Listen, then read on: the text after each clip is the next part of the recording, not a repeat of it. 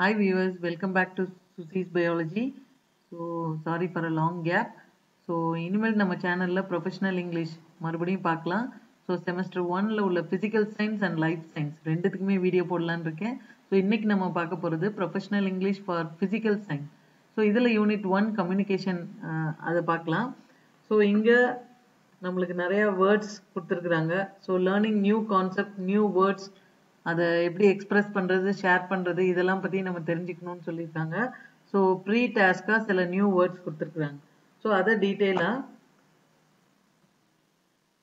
நம்ம அந்த பேசேஜ் பார்த்ததுக்கு அப்புறம் பார்க்கலாம். ஸோ இந்த வேர்ட்ஸ்க்கெலாம் நம்மளை மீனிங்ஸ் எழுத சொல்லியிருக்காங்க. ஸோ அது செகண்ட் பார்ட்டாக போடலான் இருக்கேன். ஸோ நம்ம இப்போ பேசேஜ் என்னன்னு பார்ப்போம்.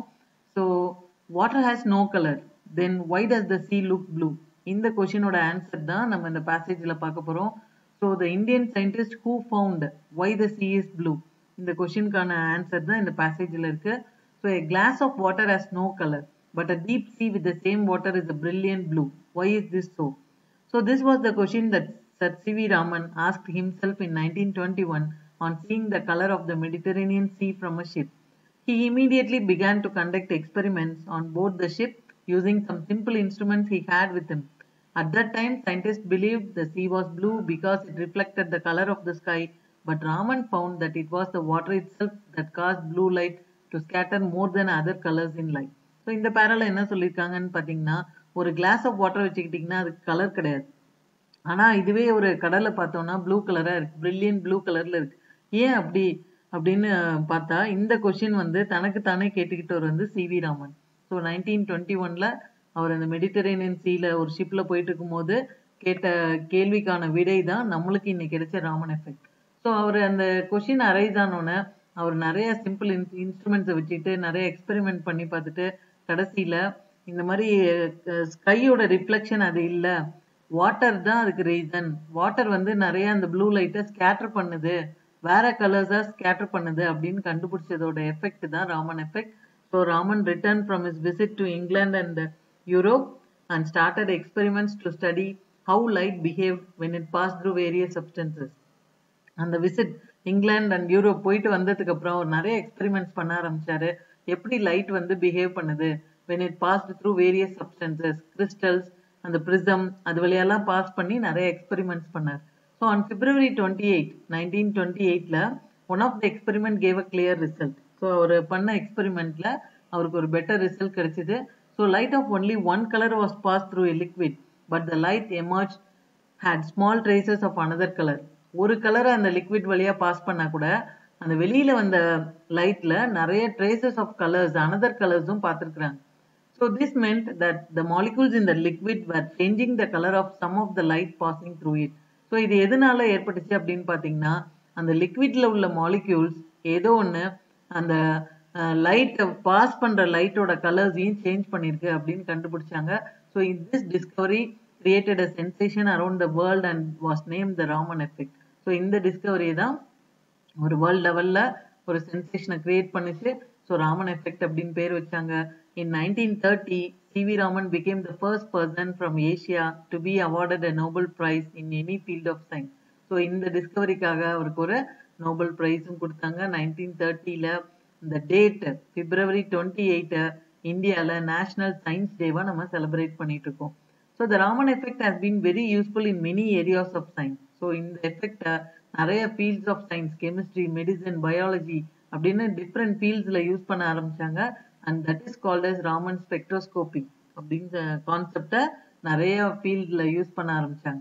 Recently people have use the idea to make a device இதே பிரின்சிபல் கான்செப்டை வச்சு ராமன் ஸ்கேனர்னு ஒரு இன்ஸ்ட்ருமெண்ட் உருவாக்கி it can be pointed at a substance அந்த ஸ்கேனர் வச்சு ஒரு சப்ஸ்டன்ஸ்ல நீங்க பாயிண்ட் அவுட் பண்ணும்போது to tell what it is அதுக்குள்ள என்ன இருக்கு அப்படின்றது நம்மளுக்கு தெரிய வரும். அது வழியா லைட்டை பாஸ் பண்ணும்போது வெளியில வரதை வச்சு உள்ளுக்குள்ள என்ன இருக்கு என்னென்ன சப்ஸ்டன்ஸ் என்னென்ன மாலிகூல்ஸ் இருக்குன்னு நம்மளால கண்டுபிடிக்க முடியும். ஸோ இந்த ராமன் ஸ்கேனரை போலீஸ் டிபார்ட்மெண்ட்ல they use the scanner to find out if people are carrying banned substances தடை செய்யப்பட்ட பொருட்கள் யாராவது கடத்திட்டு போறாங்களா? அந்த மாதிரி செக் பண்றதுக்கு இதே பிரின்சிபல் ஹெல்ப்ஃபுல்லா இருக்கு. So simply brilliant he was a man of extraordinary ability so he passed his tenth standard இது இந்த பேரால அவரோட ஹிஸ்டரி சொல்லியிருக்காங்க. So he passed his tenth standard when he was just eleven years old and at fifteen he had a degree with gold medals in physics and English and when he was nineteen he had an MA so அவங்க காலேஜில் உள்ள professor எல்லா professors எல்லாமே வந்து they allow him to skip science science கிளாஸ்லாம் அவர் attend பண்ண கூட தேவையில்லை. ஏன்னா அவருக்கே எல்லாம் தெரியும் அப்படின்னு நினைச்சாங்களாம்.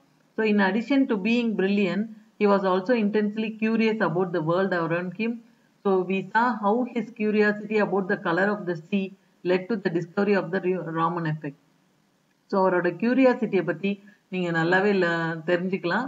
ஸோ அவர் அவ்வளோ க்யூரியஸாக ஏன் இந்த கலர் ப்ளூவாக இருந்துச்சு? சியோட கலர் ஏன் ப்ளூவாக இருக்குன்னு அவர் நினச்சி திங்க் பண்ணனால தான் நம்மளுக்கு இந்த ராமன் எஃபெக்ட் அப்படின்ற கான்செப்ட் கிடைச்சிது.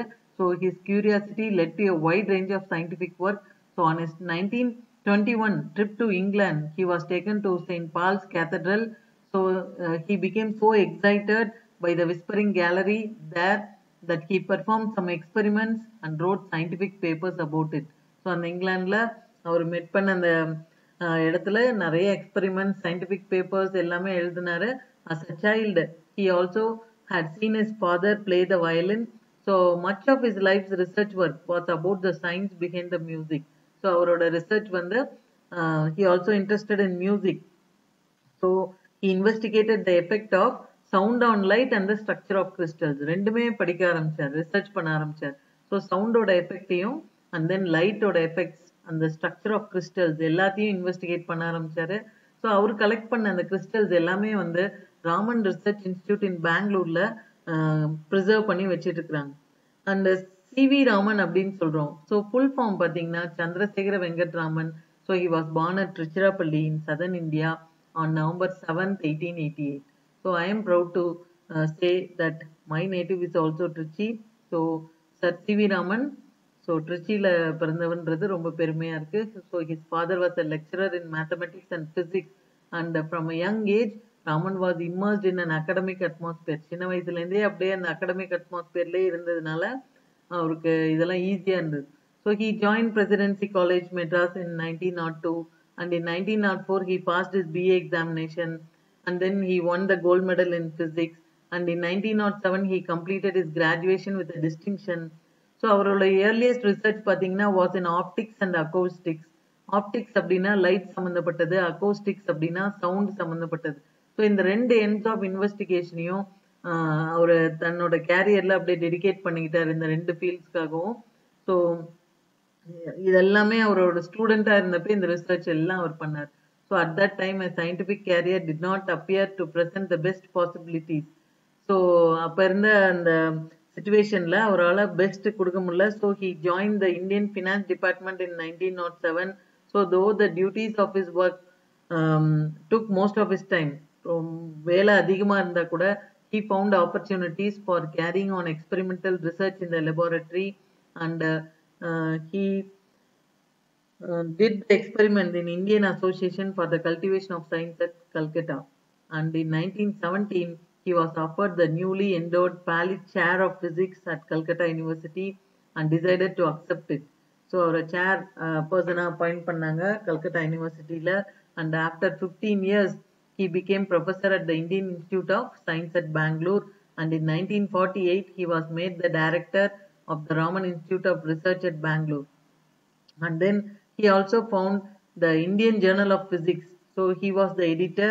So journal of physics அப்படின்னு ஒன்று அந்த ஜேர்னலுக்கும் அவர் எடிட்டராக இருந்தார். And he sponsor the establishment of the Indian academy of sciences so and served at its first president and he also initiated the proceedings of the academy so இந்த மாதிரி அவரோட கேரியரில் நிறைய ஜேர்னல்ஸ் பப்ளிஷ் பண்ணது ஆர்டிகிள்ஸ் பப்ளிஷ் பண்ணது எல்லாமே. So in nineteen twenty டூவில் molecular diffraction of லைட்டில் அவரோட ஒர்க்கை பப்ளிஷ் பண்ணார். So and then February twenty எயிட்டில் ரேடியேஷன் எஃபெக்ட் அவர் பேரை வச்சு ராமன் எஃபெக்ட் அப்படின்ற இதையும் நியூ ரேடியேஷன்ற ஜேர்னலில் பப்ளிஷ் பண்ணாங்க. ஸோ நோபல் ப்ரைஸ் நைன்டீன் தேர்ட்டியில் கிடைச்சிது. இதே மாதிரி அதர் இன்வெஸ்டிகேஷன் இது எல்லாமே வந்து அவர் பண்ண எக்ஸ்பெரிமெண்ட் ஸோ எக்ஸ்ரேஸ்லேருந்து வர வைப்ரேஷன்ஸ் எல்லாத்தையும் கிறிஸ்டல்ஸ் ஆர்டினரி லைட் இந்த மாதிரி நிறைய தியரட்டிக்கல் அண்ட் எக்ஸ்பெரிமெண்டல் ஸ்டடீஸ் பண்ணியிருந்தார். ஸோ நைன்டீன் ஃபார்ட்டி எயிட்டில் he studied the spectroscopic behaviour of the crystal so லெபார்டரியில் he was dealing with the structure and properties of diamond and then optical behavior of uh, many substances so labradorite purely feldspar அந்த மாதிரி நிறைய crystals எடுத்து study பண்ணி பார்த்தார் so among his other interest the optics of colloids and magnetic anisotropy physiology of human vision இதெல்லாம் அவரோட other இன்ட்ரெஸ்டா இருந்தது and he was honored And uh, with a large number of honorary doctorates and memberships of scientific societies.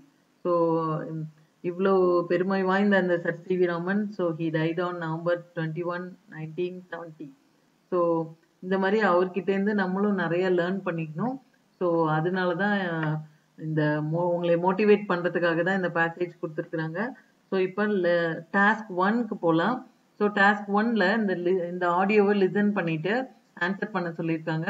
So இந்த சின்ன பாக்ஸில் சில terms கொடுத்துருக்குறாங்க. அதை டிவைஸா கான்செப்டா ப்ராசஸா அப்படின்னு கேட்டிருக்காங்க. So first one Raman effect it is a process scattering it is also a process and third one crystal structure it is a device and fourth one acoustics it is a concept and optics of colloids it is also a concept prism it is a device and diffraction is a process so இதுதான் இந்த first task ஒன்னோட answers and task டூவை பற்றி டீட்டெயில்டாக நான் next part டூவாக வீடியோவை பார்க்கலாம். And third one match the following பார்க்கலாம். ஸோ கிறிஸ்டல் டைனமிக்ஸ் அதோட ஆன்சர் என்ன அப்படின்னு பார்த்தீங்கன்னா the vibrational movement of atoms in the solid state அதுதான் அதோட correct answer and second one hypersonic அப்படின்னா ஹைப்பர்னா அதிகம். ஸோ இங்கே speed of more then five Mach five மேக்ன்றது units so அதுதான் அதோட answer hypersonic and ultrasonic அப்படின்னா a frequency above the human years audibility limit அதுதான் அதோட answer and then optics it studies the behaviour and properties of light and acoustics it is concern with the properties of sound so task த்ரீயோட answers இவ்வளோ தான் and லாஸ்ட்டாக task four கொடுத்துருக்குறாங்க fill in the blank so spectroscopy it is the study of the interaction between matter and electromagnetic radiation so first fill up வந்து interaction second fill up matter third fill up radiation and fourth one it is originated through the study of visible light and fifth dash is uh, according to its wavelength by a prism so இதுதான் அந்த fill up ஓட answers so remaining அந்த pre taskல உள்ள words ஓட meanings-உம் and um, இந்த பாக்ஸில் உள்ள டேர்ம்ஸோட இன்ஃபர்மேஷனும் part டூவாக நான் போடுறேன் so kindly give your support as usual So புதுசாக பார்க்குறவங்க உங்கள் ஃப்ரெண்ட்ஸ்க்கு ஷேர் பண்ணுங்கள் so first UG BSc students for physical science so அவங்க எல்லாருக்குமே இதை நீங்கள் ஷேர் பண்ணலாம் சப்ஸ்கிரைப் பண்ணலாம். உங்கள் கமெண்ட்ஸில் கமெண்ட் செக்ஷனில் உங்கள் வியூஸ் அண்ட் சஜஷன்ஸ் கொடுங்க. ஸோ தேங்க்ஸ் ஃபார் வாட்சிங் and see you on next video thank you bye Susie's biology always makes your learning easy. Bye.